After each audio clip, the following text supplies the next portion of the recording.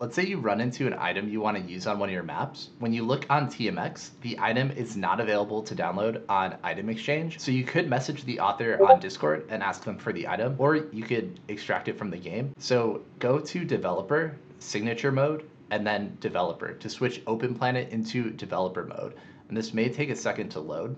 Then go to System, Folders, Memory Temp, and then under current map embedded files, expand that, go to content loaded, items. So these, you have all the items, club items, and blocks. So you could extract a specific item, or if you click extract at the item level, that will extract a folder with all the items in it. Then go to open planet and click open extract destination. This will open the file explorer to the location where the items are saved. So you can go into current map embedded files, content loaded, items, and here you find all the items from the map.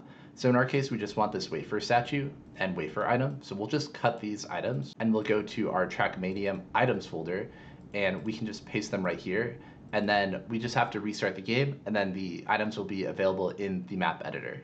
So we're back in the map editor, and if you go to items and then custom, we can see our wafer statue and our wafer items are right here, so we can use them on our maps. If you have questions about mapping or want feedback on your map, I created a community Discord and the link to join us in the description. Thanks for watching.